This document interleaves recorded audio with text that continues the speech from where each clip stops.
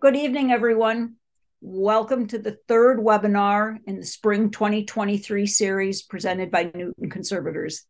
As most everyone probably knows, we're an all-volunteer nonprofit established in 1961, and we work to preserve and maintain open space in Newton.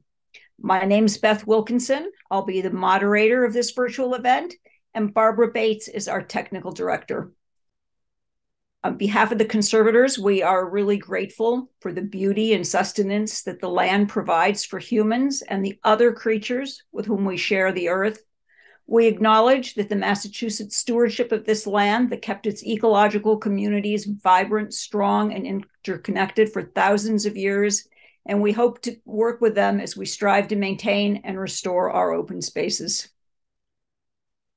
In tonight's presentation, Ivy Yen will speak about her wonderful research, which was covered in the New York Times, about how small mammal personalities, whether they be shy or bold, differentially select and cache seeds to influence forest regeneration. She will explain to us that it takes a range of personalities to maintain forests.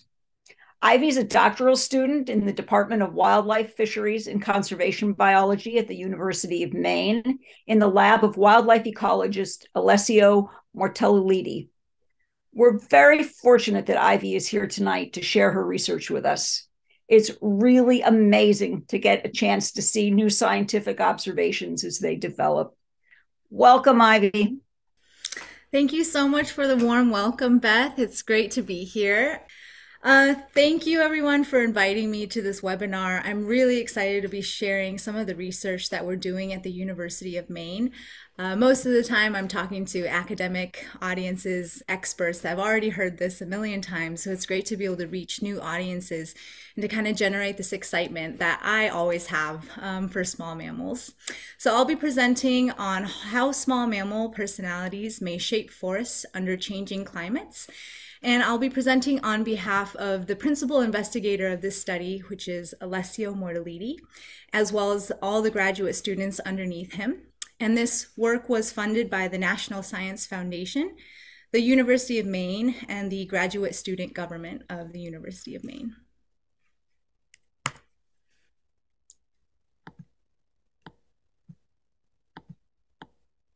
So, how do forests come to be the way that they are? For simplicity, let's just consider the trees within a forest. If you think back to what we've learned in our high school biology courses, we would come up with answers like local geography, the climate, precipitation, and soil characteristics, factors that all determine the environmental conditions and dictate what kinds of things can thrive there. But these things don't really answer the question of how the trees got there in the first place. This is where we need to consider how plants move, the dispersal of their seeds. It's the one chance in their lifetime that a plant has to find a safe place to germinate and grow into their adult form. This stage in a plant's lifetime is so critical that they have evolved an incredible number of solutions to solve this problem of movement. Some seeds, in, uh, some seeds have evolved um, the ability to harness the power of the wind to so such as maple seeds which have evolved wings that help them stay airborne in the wind slow their descent and move them farther away from the parent tree. Others disperse ballistically exploding out from pods into the environment and others still use the involuntary movement of animals attaching onto passerbys with their barbs and hooks but the most common evolved strategy for seed producing plants is animals by enticing them to eat their seeds and fruits. And in fact, it's estimated that approximately 50 to 90% of seed bearing plant species rely on animals to disperse their seeds. One of the most important animal dispersers are small mammals. And small mammals are exactly what you would expect them to be. They're mammals that are small, and so these are animals such as squirrels, chipmunks, mice, and voles. And no doubt you've seen chipmunks stuffing their cheek pouches full of the seeds that you've freshly just put into your bird feeders. Or maybe you've seen some viral videos of acorns pouring out of the walls of houses that were made by squirrels. In one season, a single small mammal can handle thousands of seeds. So it might be no surprise that in small mammal territories, preferred seeds may have harvest rates as high as 95%. So clearly small mammals can play the role of seed disperser and seed predator simultaneously, which is an interesting dilemma for the plant because the seed needs to entice animals enough to move them, but maybe not enough that they'll always be eaten right away. To prove this contentious relationship, seeds have evolved various defenses like hard shells, like the black walnut, bitterness, like the tannins in an acorn, or early germination cycles, and masting in order to escape predation and level out the playing field. But it's a delicate balance. So, studying the factors that determine when small mammals will act as dispersers or predators to a seed is an important field of work if we are to understand how they influence germination probabilities and thus forest regeneration. To flesh out this relationship a little more, let's switch over to the animal perspective. So many animals hoard food. It's a strategy that allows animals to create a safety net. By storing food in times of plenty, they can survive times of scarcity and it's an innate behavior in response to fluctuations in seasonal food availability. And this is particularly important for small mammals because they aren't large enough to migrate in the winter and follow food availability, but they're also too small to put on significant fat reserves during the winter. And so they need to store this food so that they can eat it later. Hoarding behavior is typically categorized as two types. There are your larder hoarders here on the left, and they're they're they're the ones that put all of their eggs in one basket, like the American red squirrel that stashes all of their pine cones in one midden. On the other end of the spectrum are scatter hoarders like gray squirrels that make many, many small caches and rely on their spatial memory in order to recover these caches. Now, the primary difference between these two strategies are that larder hoards are defendable, but then very obvious, and scattered hoards are undefendable but non obvious. To continue the analogy, some put all their eggs in one basket, but if they can't actively defend their basket, they might start putting their eggs in many small hidden baskets, relying on the low density of the seeds or the eggs and concealment in order to protect their resources. From the plant's perspective, it's much more beneficial to be picked up by a scatter hoarder than a larder hoarder because it's not being stored in a den underground or in a midden competing against hundreds, if not thousands, of other seeds. And so, in this simple comparison, larder hoarders are primarily seed predators, and scatter hoarders are primarily seed dispersers. But even within a species, hoarding behavior is a spectrum we might need to go even deeper in order to understand the intricacies that determine whether an animal is going to aid or constrain seed dispersal. So let's start at the beginning. When faced with a seed, a small mammal can make many different decisions. They can choose to harvest the seed or to ignore it. If they decide to harvest the seed, they can then decide whether they want to cache it, or maybe they want to eat it right away. Then when they cache it, they have to decide how far away are they going to take it? What's a safe place to put it? And what kind of microhabitat are they going to store it? And then they have to decide when they're going to recover the seed. Each of these decisions have huge implications for the seed. If seeds are ignored, immediately predated, or recovered, then there is little to no chance of survival. In these cases, the small mammal is acting more antagonistically toward the seed. But if harvested and cached in a good location for germination, and it's not recovered, and this is the key here, then the chances of seed survival are boosted. And maybe animals don't recover them either because they forget where the cache is, they don't need it anymore, or maybe they die. And so in these cases, the small mammal is acting as a disperser, providing the seed with transport as well as an opportunity to grow farther away from the parent tree. So these decisions are depicting the seed dispersal process, and it's what our lab is interested in fleshing out. What are the extrinsic factors that guide a small mammal's decision to harvest rather than ignore a seed? So far, we know that things such as forest structure, weather, luminosity, and predator presence will change the pathway that a small mammal takes on the seed dispersal process. What are the intrinsic factors of seeds to small mammals? We know that small mammals typically prefer larger seeds and ones with a higher caloric value. And but what about the animal characteristics such as species and sex that can shape this relationship? Which of these factors are the most important drivers in determining where and how far small mammals cache their seeds? I know I've asked a lot of questions, but essentially the big question is how do all of these things come together to determine whether a small mammal will be an ally or just a consumer in the plant animal relationship? A lot of research is dedicated to each one of these topics. And as computing power improves, technology advances, and greater research effort is invested, a clearer picture is being painted of how small mammals change the composition of the seed bank and thus shape forests. In our lab, a factor that's often overlooked that we focus on is individual personality. Now, before I delve into why personalities are so important, I'm going to first define it. So personality is defined as the consistent individual behavioral variation over time, which is correlated across contexts. For example, an individual with a bold personality will tend to score higher on boldness at later points in time and will also tend to be more bold in different contexts, such as foraging and mating. For like a human example, a shy person will be shy in the office, and when they're grocery shopping, they'll, they'll probably also be more shy. They'll be shy five months from now and shy five years from now.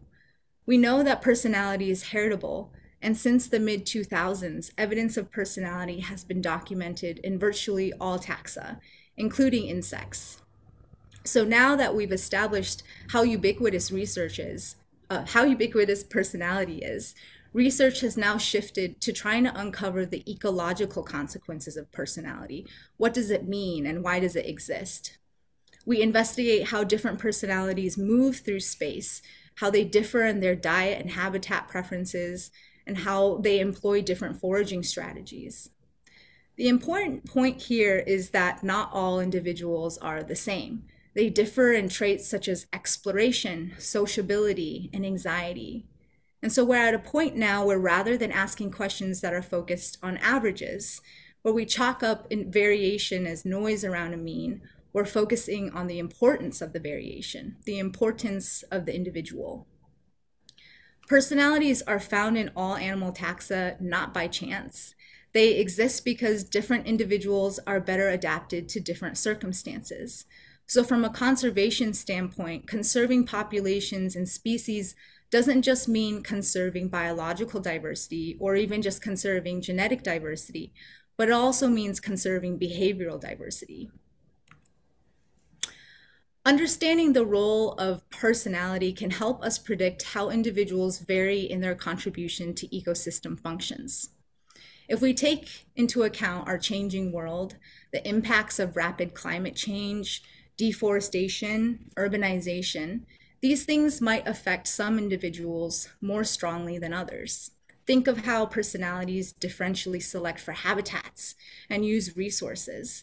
Certain habitat types and specific resources may be degrading more quickly than others, which pose greater risk for certain individuals.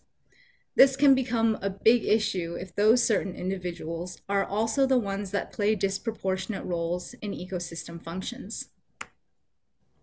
If the behavioral composition of populations are altered, it may mean that the ecosystem services we rely on may dwindle more quickly than we expect.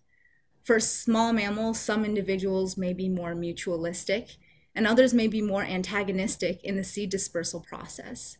And so, as we think about how to conserve natural systems and maintain healthy populations, we'll need to consider that the parts that make up the whole, because they're not always equivalent.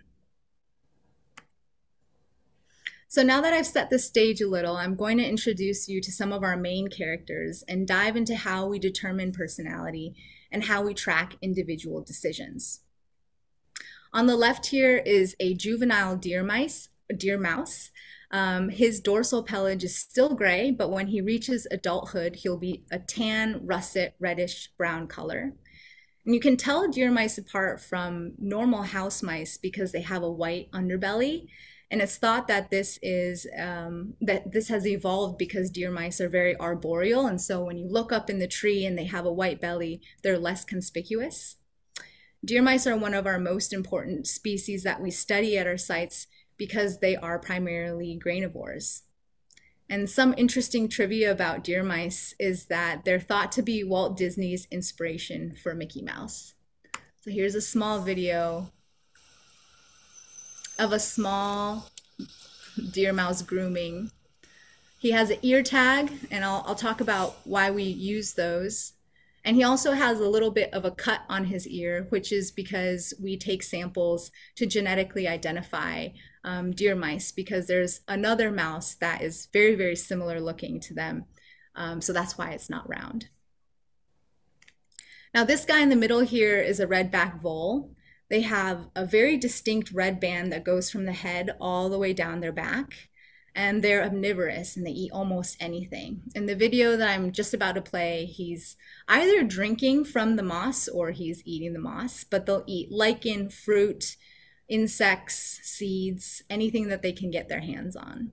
They have super soft fur and they have this really interesting behavior where they actually lose weight prior to the onset of winter to decrease competition for food because they huddle communally.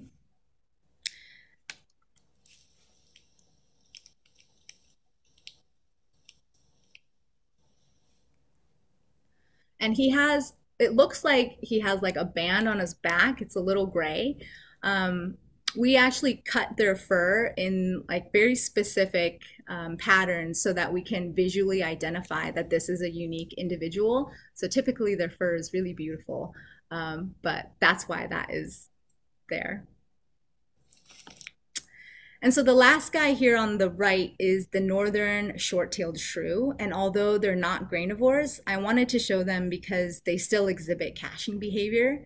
They are voracious insectivores and also one of the few venomous mammals in the world. And so they can paralyze their prey and cache them alive to eat them later. And you can see he also has a little bit of a haircut.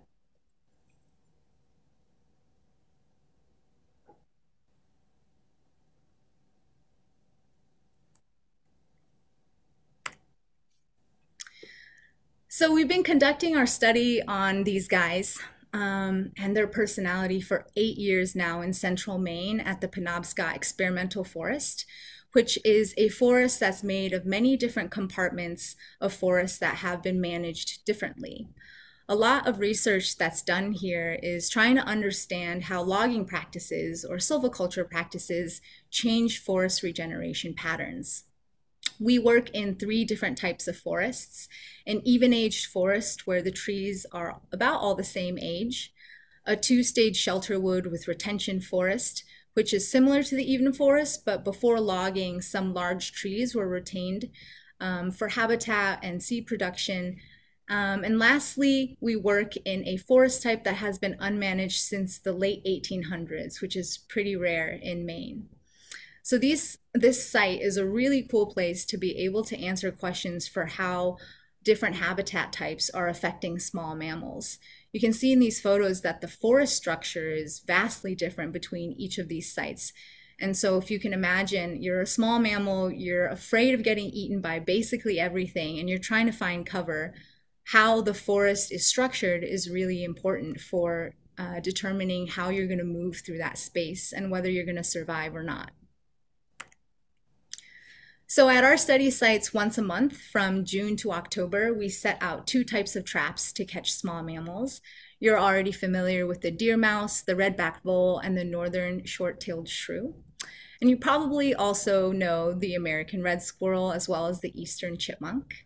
But maybe some animals that you didn't know that we also catch are the northern and the southern flying squirrel. And we also catch shrews that are as little as three grams um, they look just just as similar um, as this short-tailed shrew, but they're just teeny tiny.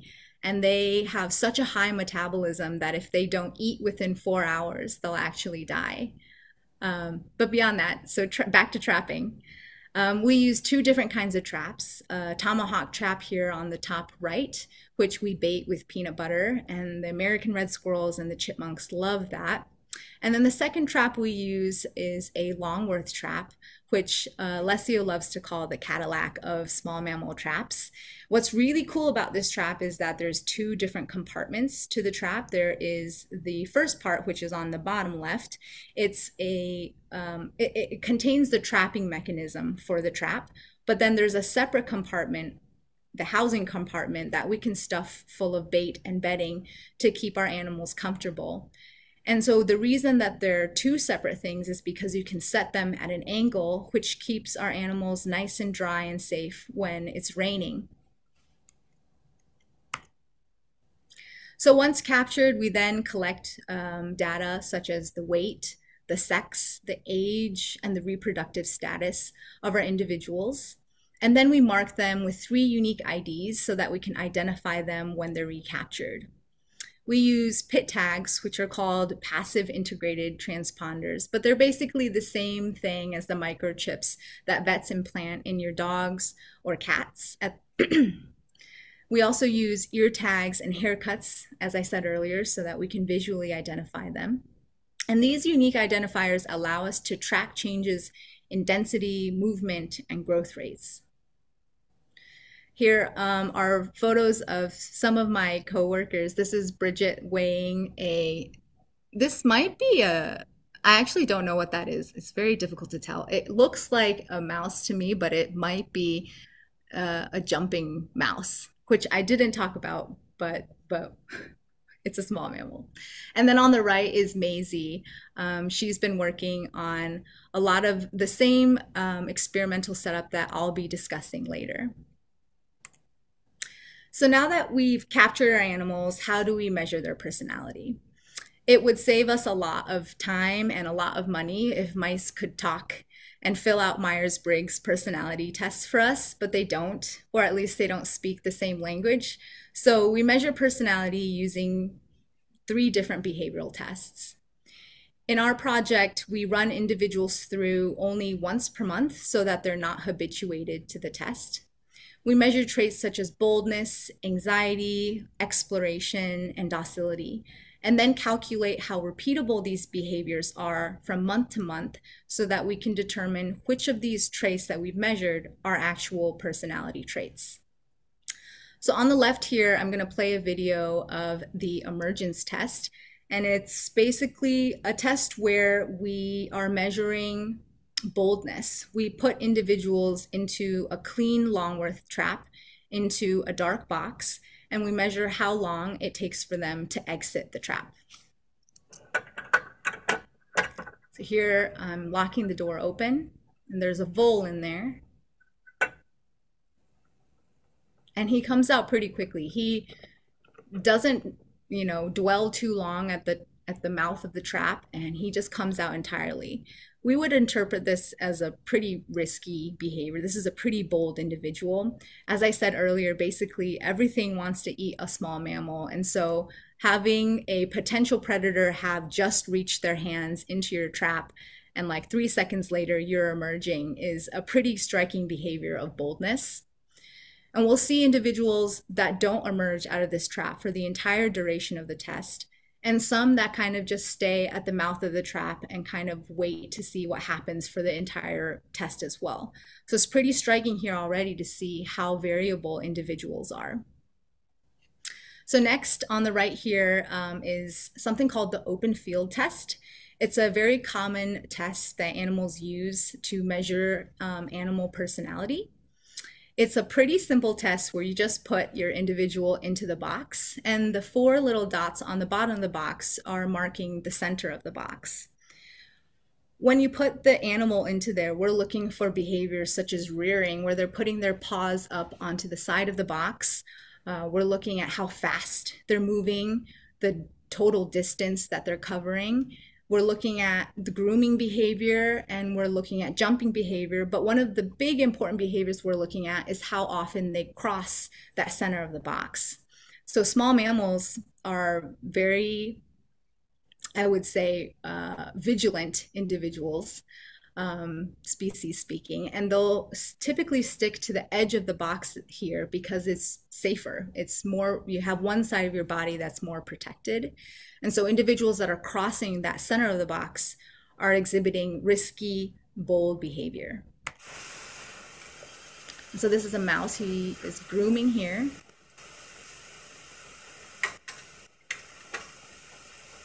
He's rearing here on the box, another rear.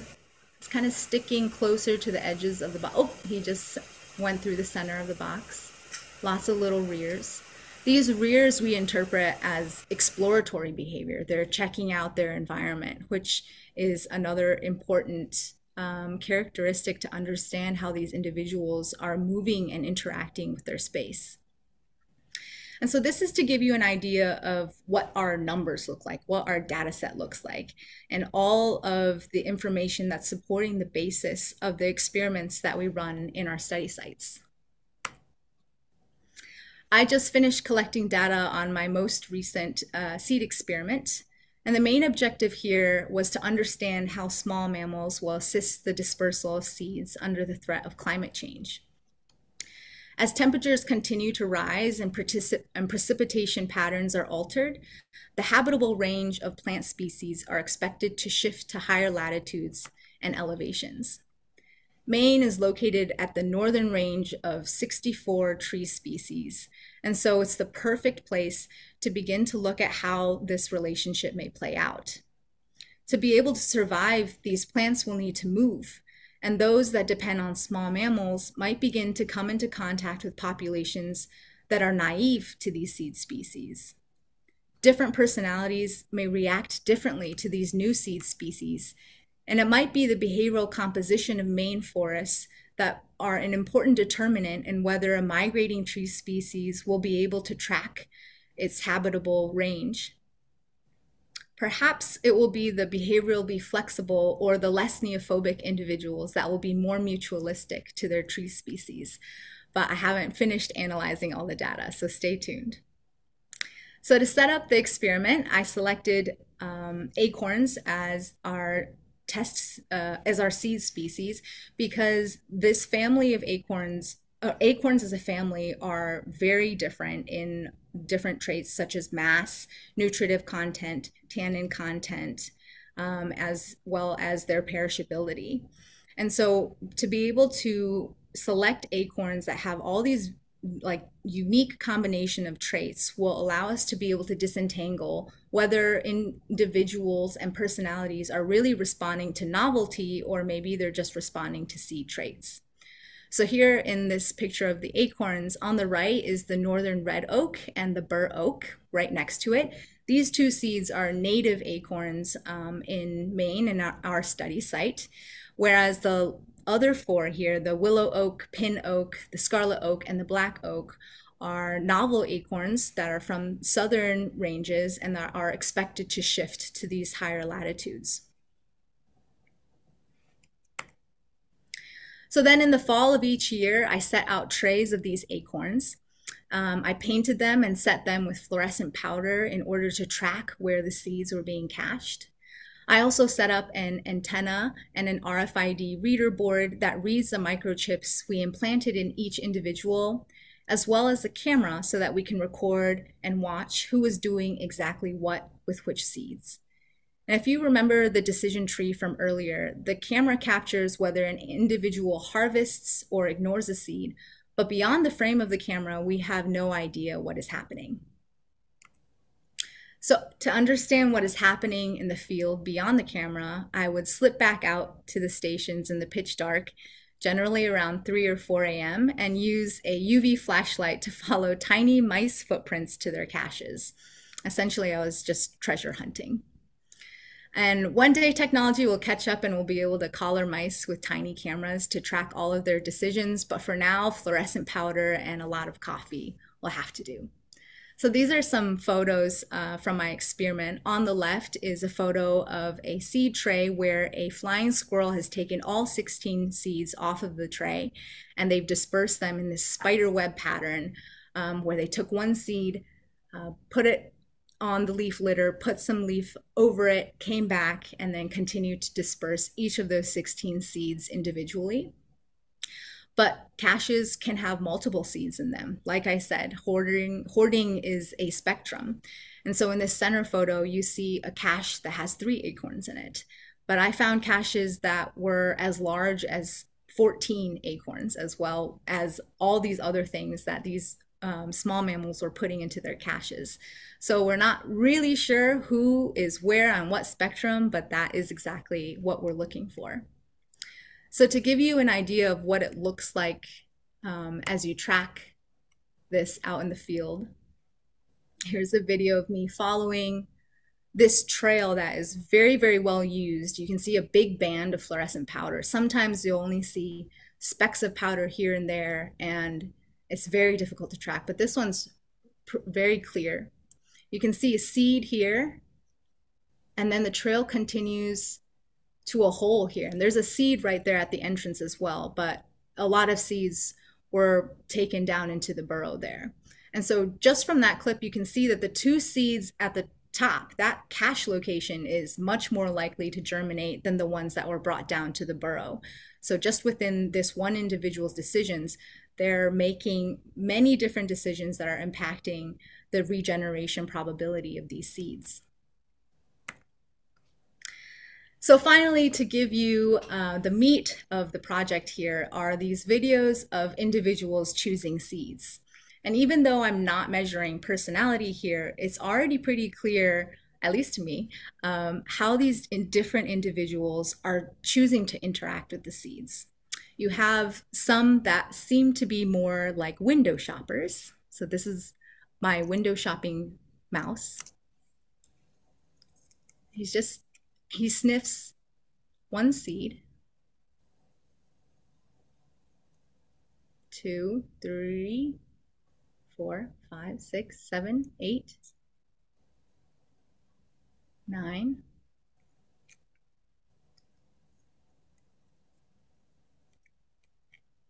inspected it for a little and then decided to harvest the seed.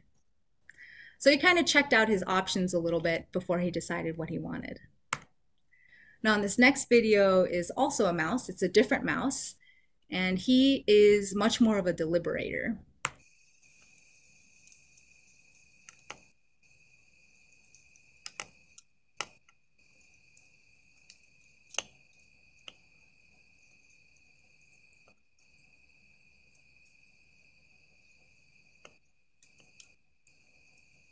And even though he spent all that time interacting with his seed and deciding whether he would take it, he still rejected it in the long run. So he ignored the seed. And even others are less picky and they just snatch up a seed right away. And sometimes the cameras aren't even fast enough to catch their selection events, and we just have to use the reads off of the RFID uh, reader board and antenna setup. So what's important here I want to mention is that these seeds are very, some of these seeds, some of these acorns are very large, five or six grams. And so a small mammal that's 15 to 20 grams is going to be taking an acorn that is a third to a quarter of its weight. And to pick up something that's that heavy by your mouth means that you're going to be giving up the opportunity to be able to scan your environment properly and to be vigilant for any any predators along the way. So it is a risky behavior to take the acorn as well. Now this last video of seed selection is a northern short-tailed shrew. And if you remember earlier, they are insectivores. So what is he doing at my tray? I'm not really sure, um, but you can see that he is not well equipped to handle acorns.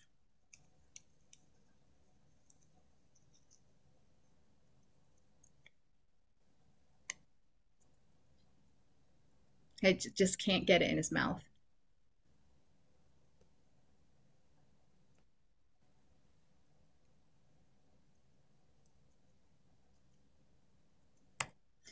So, of course, with wildlife research, you'll always come into contact with things that you don't expect. You'll have species visit your trays that you don't expect, or the weather, or any number of things. But here are some examples of some cool, unexpected things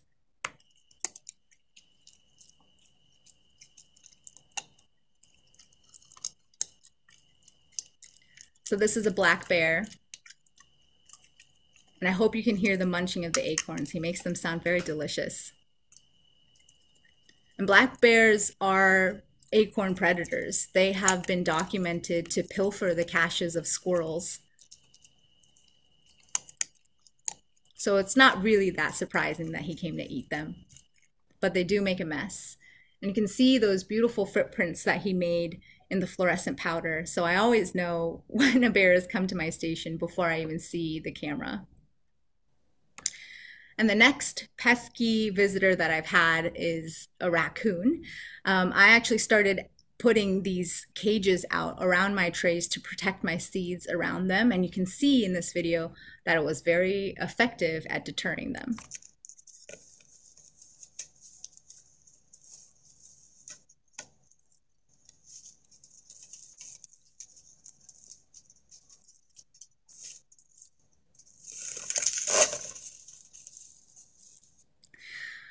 So I've just finished scoring the thousands of videos that I've collected, and I'm now in the process of analyzing the data to see what patterns we might see. So stay tuned if you're interested in seeing whether personalities really do differ in their personality or in their dispersal of novel seeds. However, I can share some interesting results that we found in the last eight years of this study. Allison Brehm was really pivotal in the beginnings of the Small Mammal Personality Project. She developed a lot of the protocols that we still use, and in particular, she helped develop that portable RFID reader board and antenna that's so important to our experiments. Without being able to identify who came to our seed tray, we wouldn't be able to look at personality at all. So this is just one of the many findings from her studies. Um, here on the graph, on the x-axis, you have a scale of anxiety where individuals on the left are highly anxious and individuals on the right are not as anxious. And on the y-axis is the dispersal distance, so how far these individuals are taking the seed. So is there a relationship with this personality variable and how far they're willing to take a seed? There is. We find a positive correlation where individuals that are less anxious are taking seeds farther. And so we see here, past all the theorizing and all the hypothesis, real evidence that personalities have true ecological consequences. And dispersal distance is one of the most important uh, measurements for the probability that a seed will germinate. Um, I mentioned this a little bit earlier, but that movement away from the parent tree is really important because you're not competing against all of your brothers and sisters. You're moving away and using resource and not having to compete for those resources, that sunlight, that water. Um, and so it's important to move farther. And so personality is important here. Another study in our lab took each interaction a mouse had with a red oak seed and scored the overall interactions on a scale of antagonist to mutualist. And we found that not all individuals are equivalent. Some individuals are purely antagonists, where every single interaction that they have with a red oak put together, they were fully antagonists and others were fully mutualists, where everything that they did, they cached the seed, they put it in an optimal uh, microhabitat for germination, they were mutualists. And then you have all of the individuals in between. So here we see that individuals exist on a spectrum. But we don't really see personality here. And so this next study or this next finding was looking at the probability that an individual would have a positive interaction with a red oak acorn based off of the personality trait of timidness.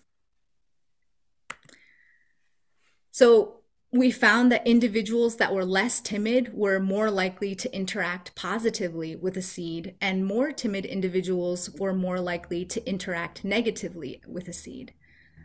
So, hopefully, having gone over all the reasonings behind why we think personality is important to incorporate in ecological studies, and showing the results that support this hypothesis, you're also on Team Small Mammal Personality. Now, before I leave you with some take home messages, I wanted to share one last video where I set up a camera to watch what happened to a, uh, I believe this was a 12 acorn cache that this mouse made. So this is in November of 2021, and I, the video spans about over two weeks. So this is the original mouse that made the cache, and he's come back to check on it.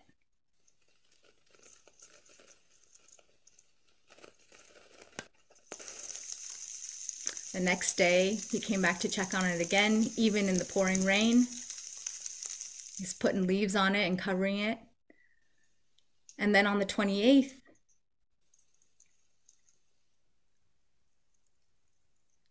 he recovered some seeds.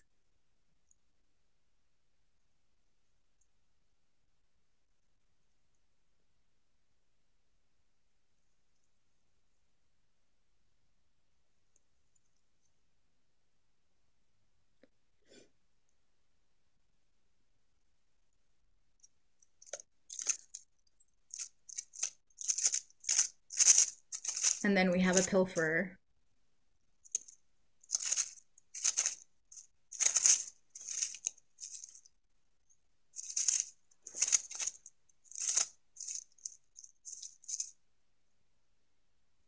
And then he comes back that evening to check on his seeds that are no longer there.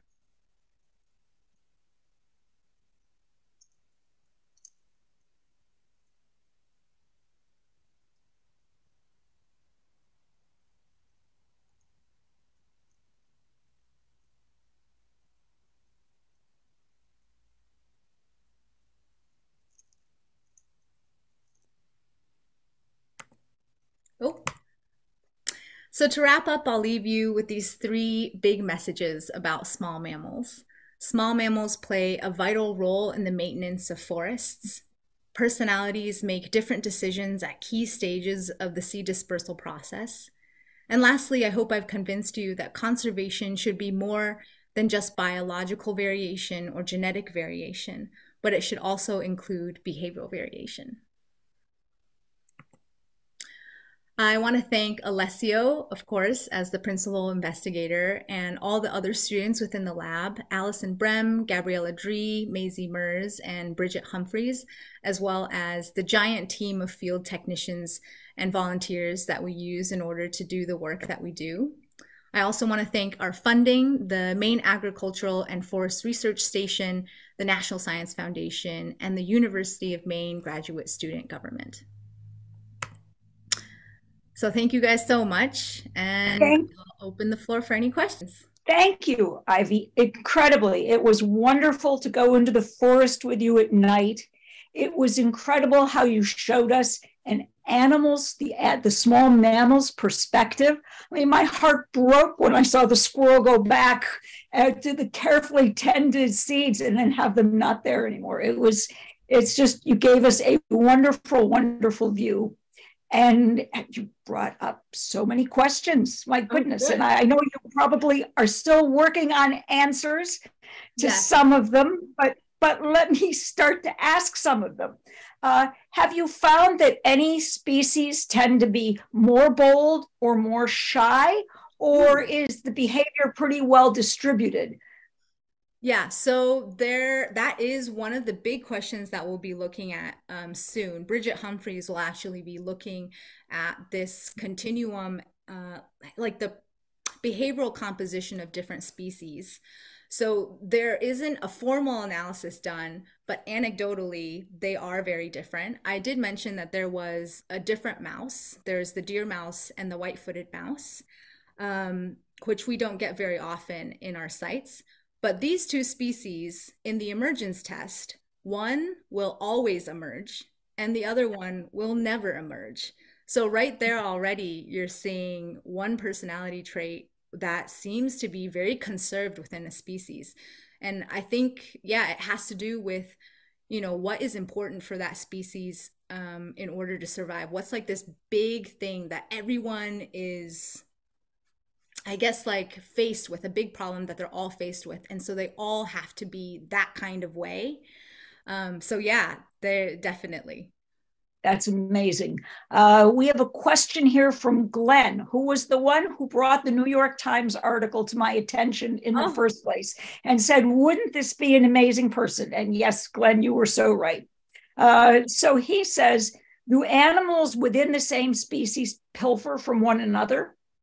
Ah, yes. So that is the big leading theory for why scatter hoarding evolved in the first place because individuals are stealing from each other and you have this very conspicuous one cache in order to have this leg up over these pilfers you need to be able to kind of trick them and so that's why scatter hoarding is thought to have evolved because it's the cacher's advantage over the pilfer's um, i guess ability so your question of whether different species or the same species, it happens both. They are all pilfering from each other all the time.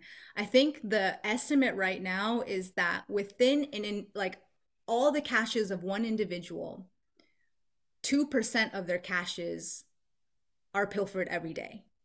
And so if you're not con- continuing to make caches or pilfering from other people, uh, other mice, I always call them people, or other mice, or voles or whatever or other small mammals you won't it's not sustainable. And so pilfering is yeah a very very important question that um, yeah one of our graduate students just finished a study on and was looking at whether different personalities were more likely to pilfer from each other and they and she did find a, a positive correlation between in both mice and voles of personality having an influence on pilfering ability yeah so i don't know maybe Amazing. there's individuals that are like they're like the hardworking bees or the hardworking ants they're like always foraging always making new caches and they're like very self-reliant and then there's the other ones that are like i don't know the bane of society and they're like stealing from everybody and working on what everybody else has already worked on but i don't know.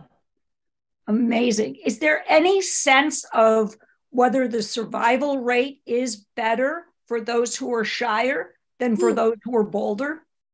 Yeah, so one of the big hypotheses for why personalities exist is that um, they are, it's called the pace of life syndrome, where, and if, if you remember, I don't know if you remember R and K strategists, there are some animals like ants that are very, very small, and there's that trade off between like reproduction now or maintenance of your body now. So, like it's an ant versus an elephant.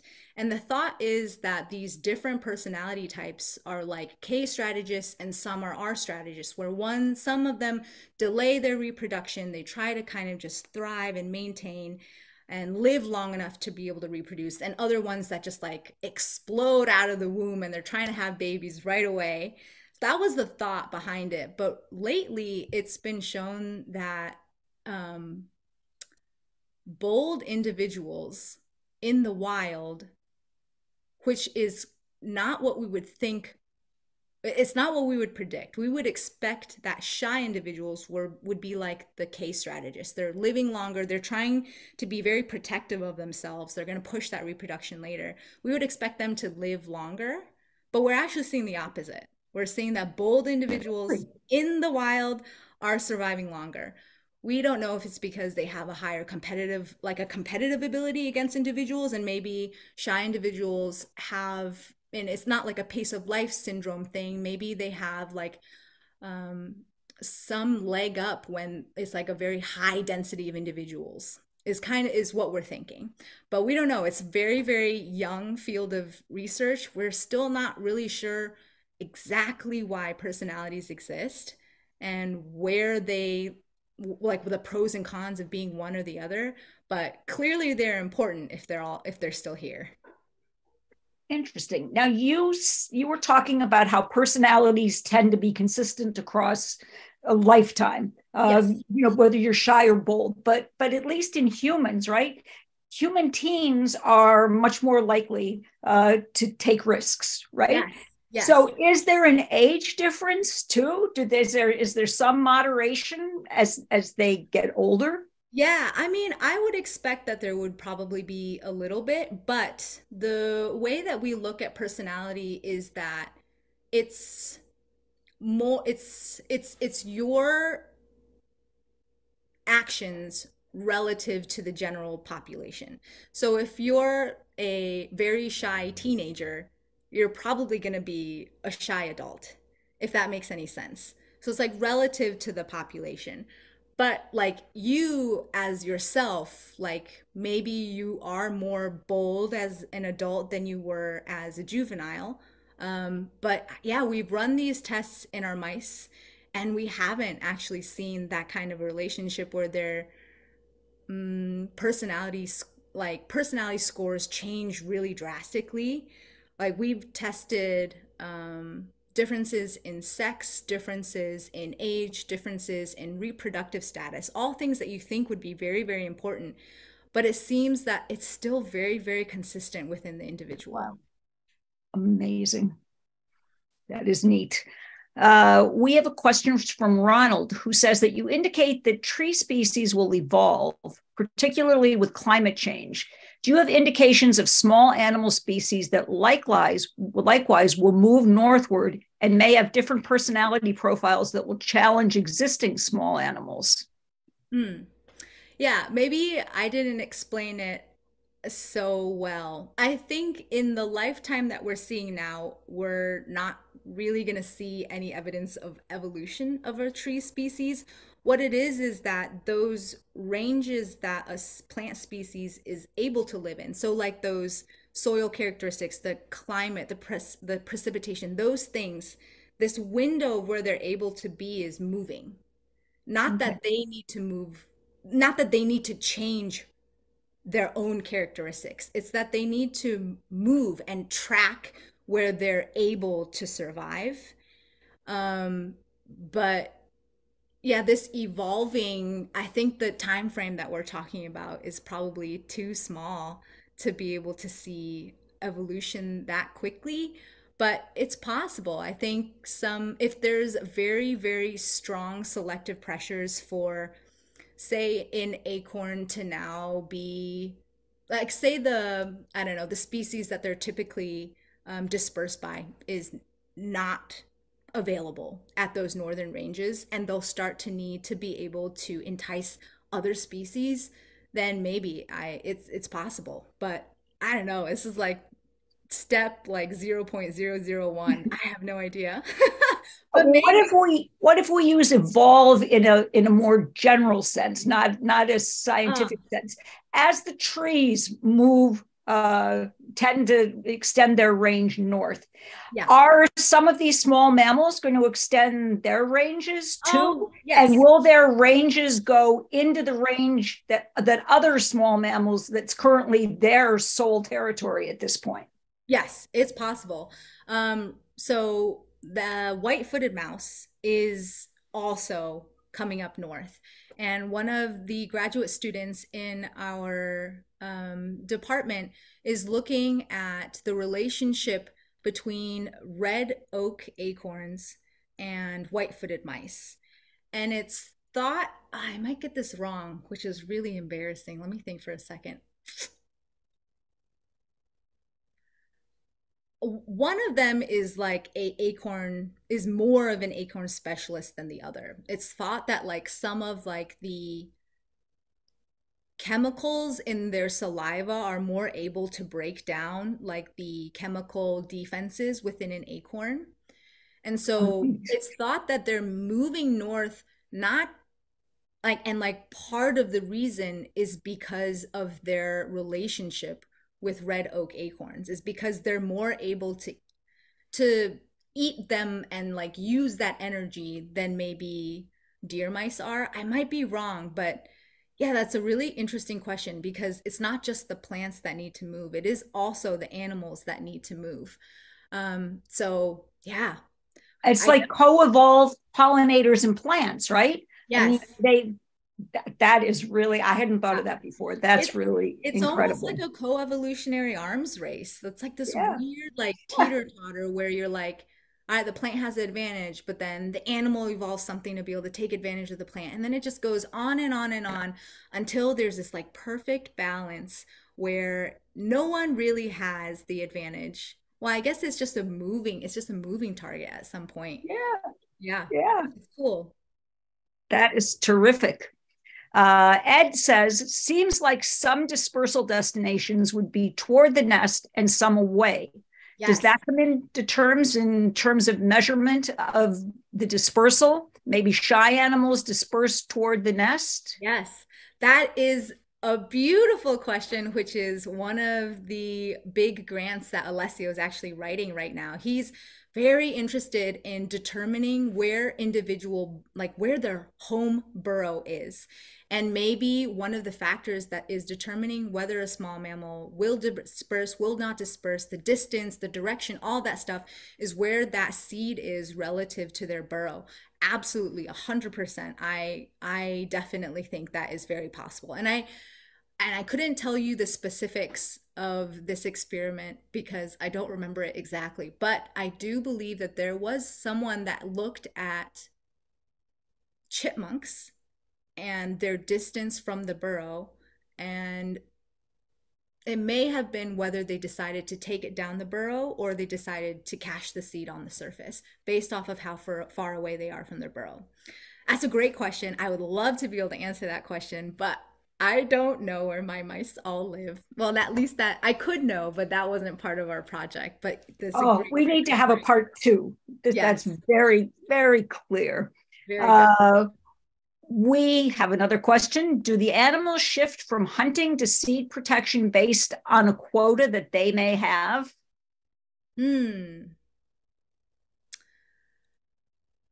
On a quota.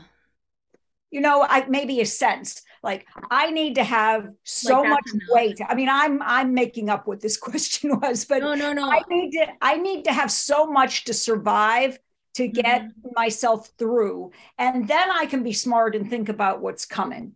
So, do I eat, you know, uh, uh do I eat 50% for now? And then once I feel that I'm comfortable, that my body weight's adequate for now, do I start eating only 20%? Yeah. Do they ration? I yeah. have no idea. That's where those tiny cameras need to hurry up and get get developed so we can put it on them and be able to count actually how many caches they have. Yeah, one of the coolest ways that I love to think about how small mammals manage their caches, they're like these like bankers where they have like they're constantly like investing their money and collecting money, but they have them in all these tiny little accounts and they'll like squish them together to like invest or they'll use them here and it's like I don't know I I would imagine that there is some very specific way that they do stuff, but then at the same time, these animals only live for one year. And so that overwinter survival probability is very important, but they don't live very long. So yeah, I don't know how much into the future they're trying to predict and and and um I guess like react to.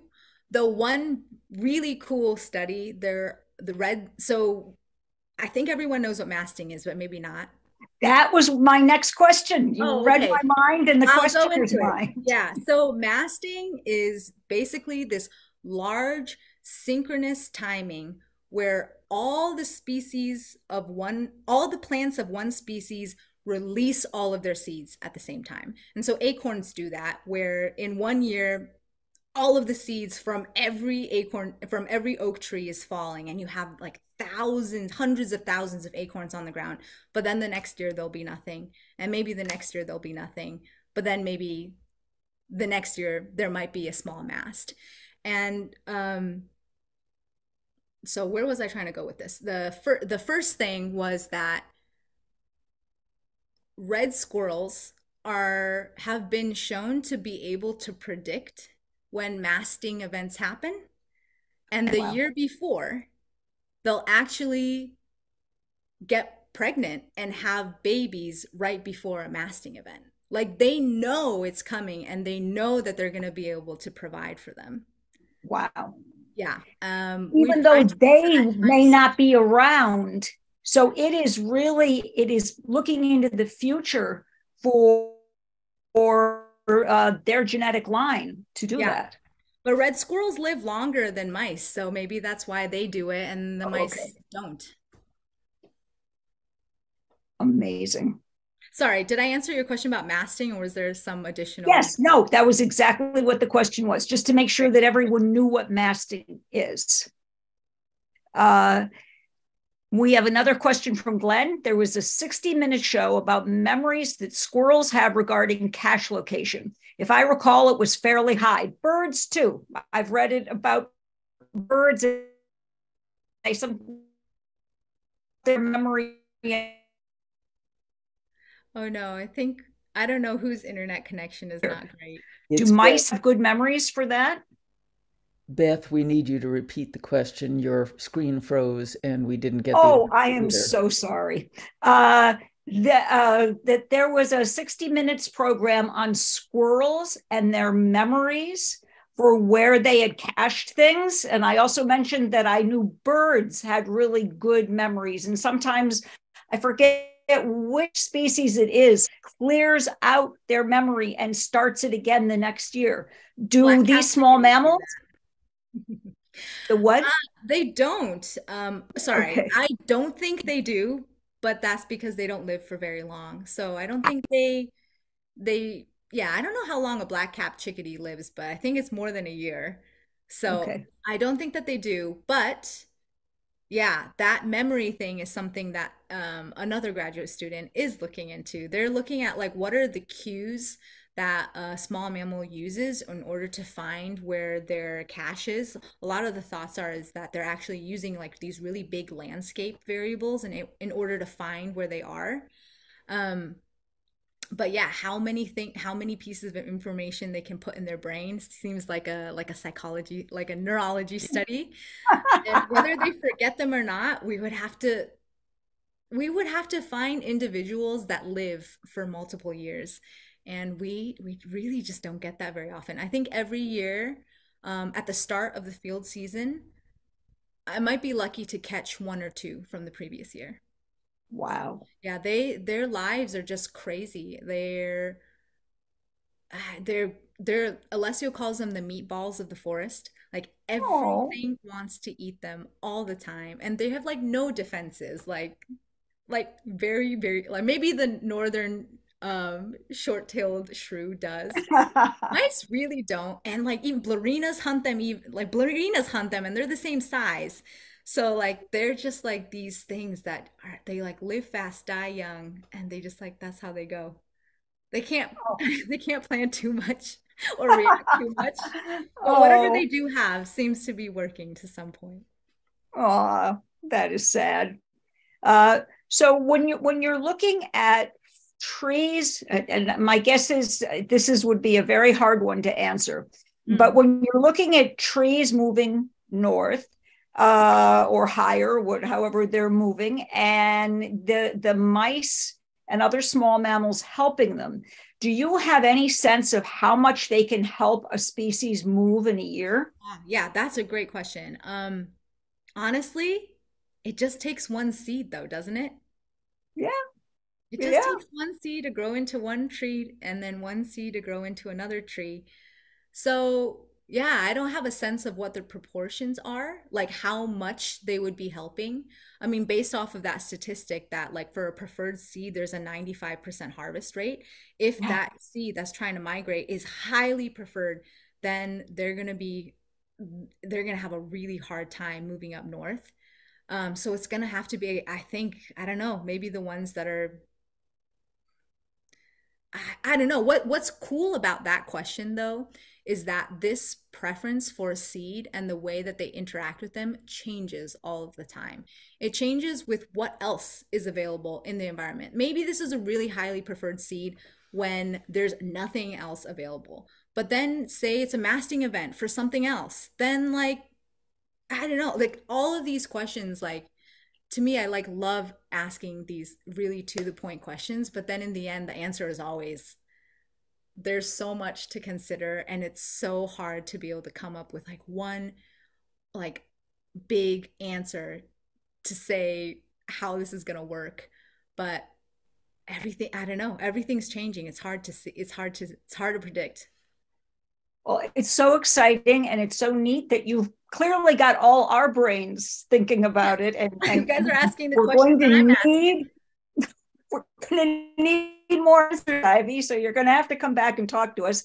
And and the final question I'm going to ask is, does the research project need volunteer tourists?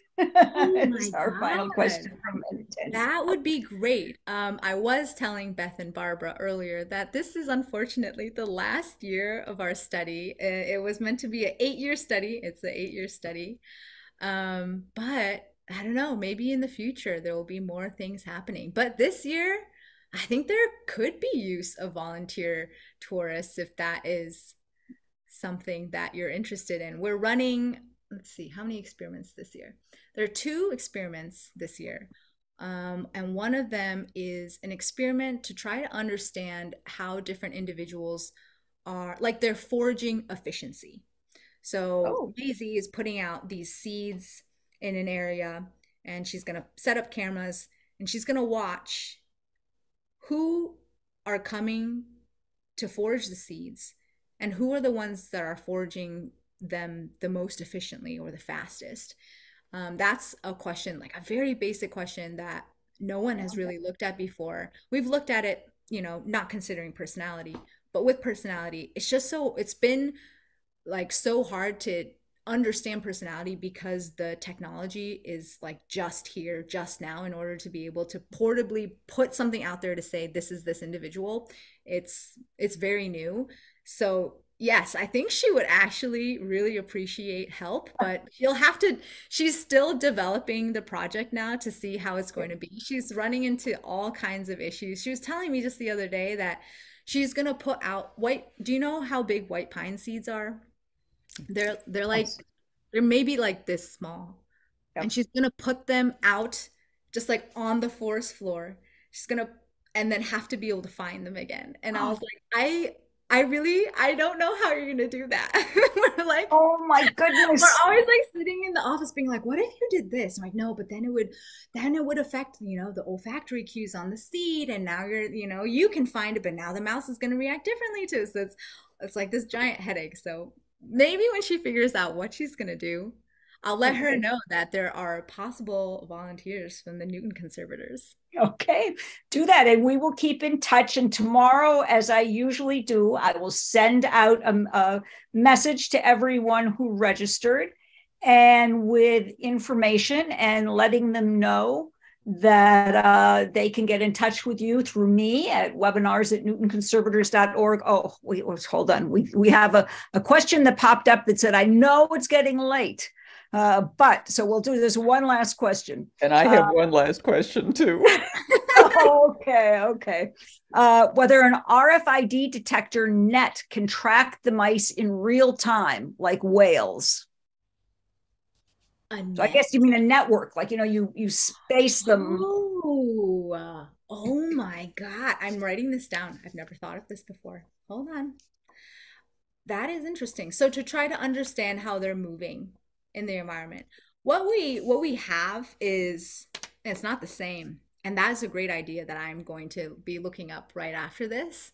Uh, we put our traps in a grid pattern so that when we catch an individual in a trap, and then the next day we catch them in a nearby trap and then the next day we catch them in another nearby trap. We can estimate like their home ranges like where are the areas in our grid of traps that they're like spending the most time in. And that's how we've been able to kind of look at you know how different personalities are selecting for different microhabitat variables. Like what are the places in the site that they're that they prefer and like to be in so this wow. RFID network is interesting and I'm wondering like what new details you could get from this. What is yeah, the problem with traps is they enter in the trap and then they can't move. Like that's it. And also, why do they go in the trap? Is it because they feel safe? Is it because it's safer to their burrow? But that's is that where they're foraging? Is that where they are? Like we like probably not. So actually this network is a really interesting idea.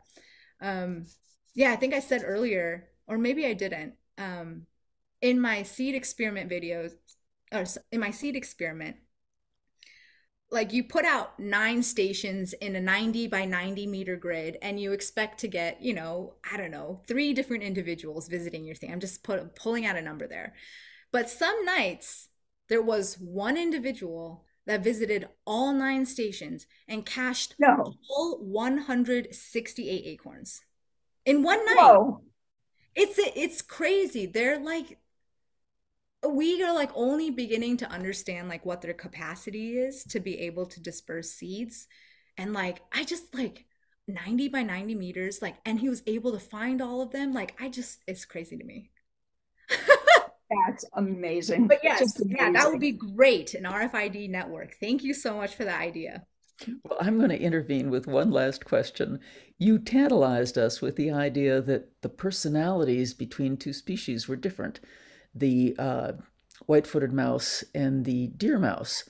Which one is bold and which one is not? I don't remember. Oh my oh, god. No. we have so few white white footed mice that I don't remember, but hold on.